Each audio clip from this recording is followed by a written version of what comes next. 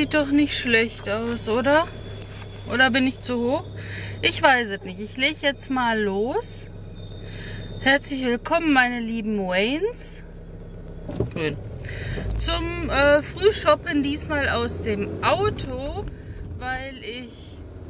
Ich dachte, die kenne ich. Weil ich ähm, keine Zeit haben werde, mich extra irgendwo hinzusetzen.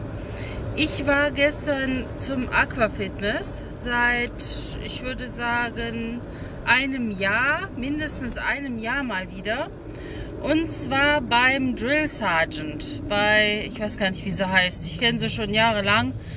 Und die ist die beste Aquafitness-Frau der ganzen Welt, muss ich so mal konstituieren. Ich weiß gar nicht, ob ich wieder so brüllen muss, weil, die, weil der Ton so schlecht ist. Ja, super war meine Freundin Turtle, die ihr ja aus meinem äh, Niederrhein ähm, Follow Me Rounds kennt. Die war mit und die hat mich in Köln besucht, weil sie einen Termin sowieso geschäftlich hier hatte. Und dann waren wir zusammen da und das hat voll Spaß gemacht und wir waren hinterher noch im äh, Sohlebecken draußen im Warmen und haben gequatscht und dann war ich erst um kurz nach zehn zu Hause, irgendwie um elf, halb zwölf dann erst im Bett und heute Morgen hat der Wecker auch schon wieder in der Früh geschrillt. Ne, der schrillt ja nicht. Ich wache ja immer ohne Wecker auf. Aber der in meinem Kopf.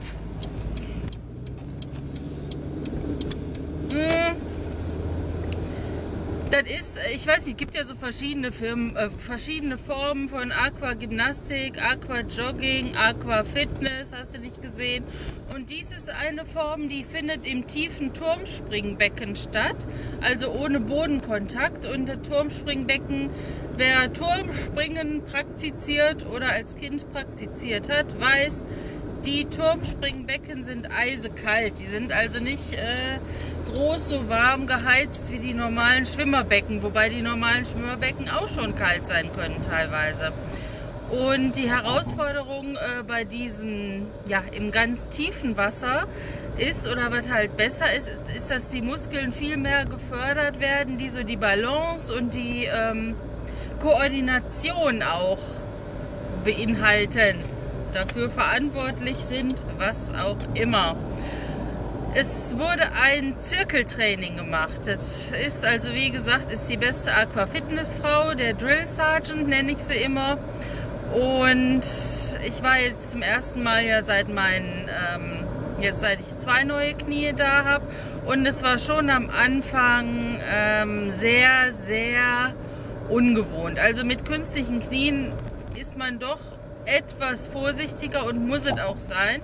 Denn ähm, ja, da kann nichts mehr so verheilen, wenn was kaputt geht quasi. Ne? Dann ist es kaputt und muss ersetzt werden. Aber da, Aquafitness ist natürlich super, gerade für die Knie und gerade auch ohne Bodenkontakt. Und deshalb mache ich es auch. Und das ist so eine Mischung zwischen, ähm, ja, ich würde sagen, Ausdauer und Muskelaufbau. Und das war teilweise richtig lustig. Ne? Das waren ungefähr, ich würde sagen, 20 Leute. Und die mussten sich an beiden Beckenrändern verteilen. Und dann wurde da immer eine Übung gemacht mit Handeln oder was auch immer. Und dann musste man mit Highspeed durchs Wasser ähm, äh, auf die andere Seite zu den jeweils anderen und die jeweils anderen auf die Seite, wo man vorher war, wechseln und dann wieder ähm, ja, mit irgendeinem Gerät äh, Vollpower geben. Und Leute, ich hätte es wissen müssen. Jedes Mal, wenn ich etwas längere Pause Aquafitness mache, was ich jetzt nicht mehr machen werde, ich werde jetzt wieder öfter gehen. Auf jeden Fall normalerweise jedes Mal, wenn ich meine etwas längere Pause gemacht habe und wenn ich dann beim Drill Sergeant war, habe ich eine furchtbare Nacht durchlitten. Und so auch diesmal. Ich habe äh, noch nichts Böses geahnt, als ich ins Bett gegangen bin. Bin auch eingeschlafen, aber ich glaube, ich habe nicht lang geschlafen, denn äh, der Jochen war noch nicht im Bett, als ich dann wieder aufgewacht bin. Und dann... Na, fahren wir? Und dann habe ich gedacht, mir wollen irgendwelche Nacht Geister meine Arme ausreißen, meine Arme verdrehen. Ich habe so Schmerzen in beiden Armen gehabt. Nicht Muskelkater. Das war irgendwie, ich kenne ja Muskelkater. Muskelkater fühlt sich anders an. Das habe ich äh, wirklich irgendwie Vielleicht auch eine besondere Form von Muskelkater, die ich nicht kenne, keine Ahnung. Auf jeden Fall fühlt sich das so an, als wenn mir nachts meine Gelenke rausgedreht werden sollen und die Arme rausgerissen werden. Und dann bin ich immer wieder kurz eingedöst, dann wieder aufgewacht. Eingedöst, aufgewacht. Ne? Und dementsprechend bin ich heute so, so, so, so müde.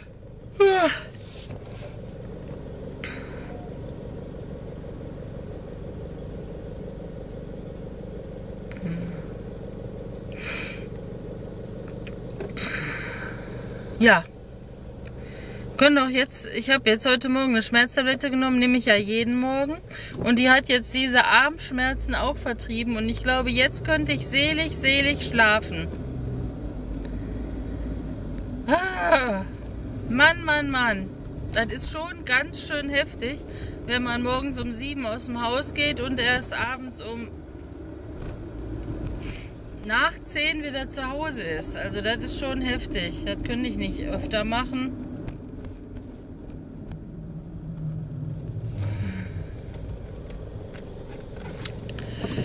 Brauche ja auch immer viel Zeit für mich. Eieiei. Eieiei. Ich habe ja habe am Wochenende so viel zu erledigen. Ich habe nichts vor, aber viel zu erledigen und das reicht mir auch.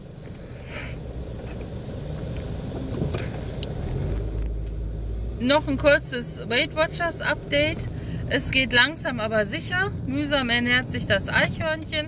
Ich nehme stetig ab. Ich nehme nicht viel ab, aber ähm, in stetigem Maße und sind zwischendurch auch mal immer ähm, wieder kleine Spitzen nach oben, wo ich ein paar Gramm zugenommen habe, aber im Großen und Ganzen, wenn man sich die Entwicklung über die Monate an geht, haben, ansieht, haben wir eine so eine, ja, nach unten Kurve. Und das macht mich ganz glücklich. Also es muss gar nicht so schnell gehen. Ich habe ja keine Eile. Werd ja nicht verfolgt.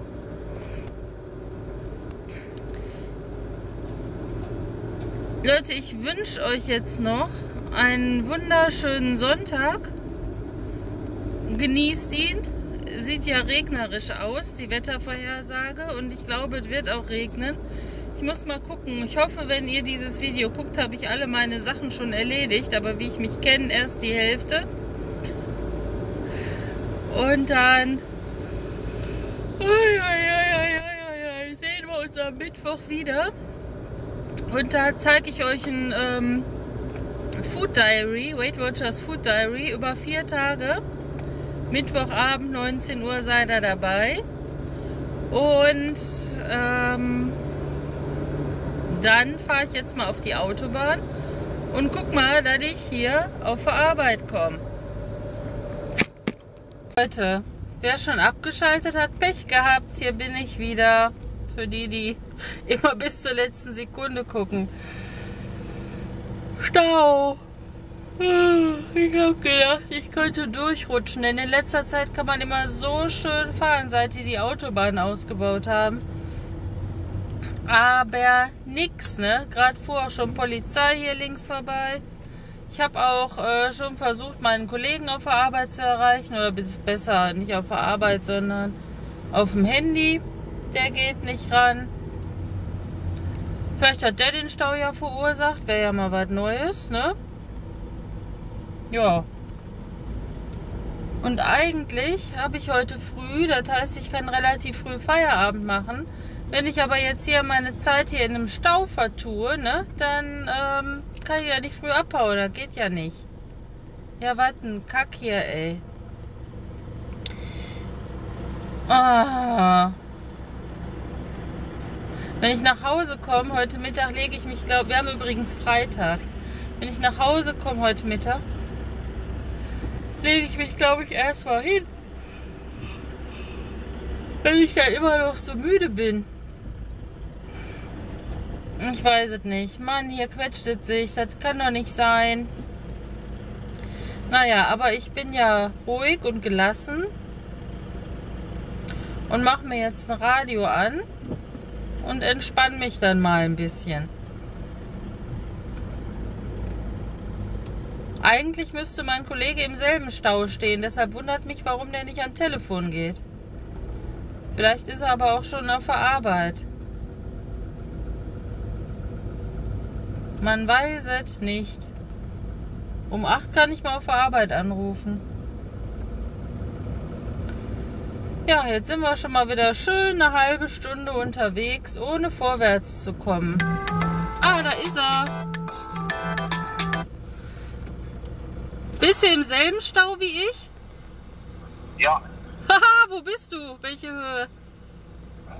ähm, irgendwo hinter, kurz hinter Köln-Ost, bei dieser Brücke. Da bin ich auch. Wo bist du? Ich guck mal rechts und links. Ich bin ganz links. Ganz links? Siehst du da diesen Ja. Gro Siehst du mich? Nee. Da ist ein orangener Baumpflege Bollmann. Nee. Nee? Wir sind auf gleicher Höhe. Ich lach mich schlapp. Weißt du, was da passiert ist? Nee, ne?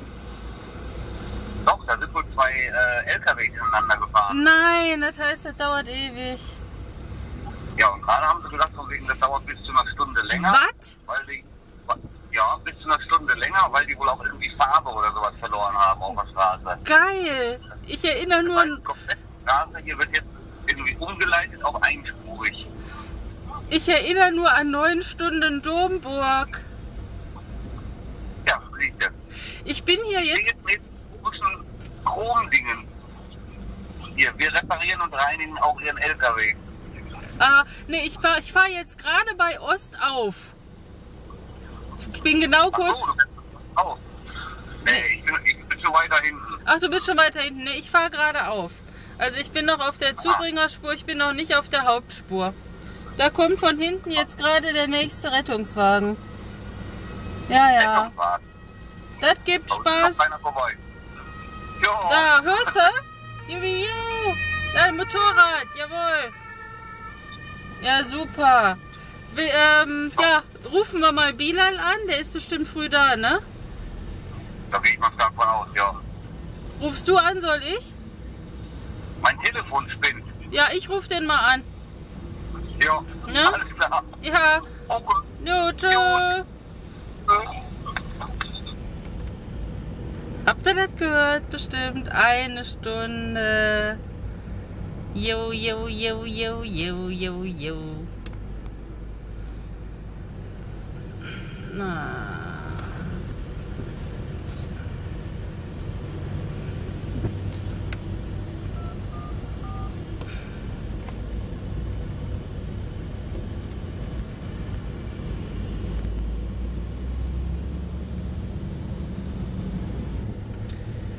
Ah, Eine Stunde, ja Leute, eine Stunde kann ich euch nicht unterhalten. Ich habe nichts mehr zu sagen hier.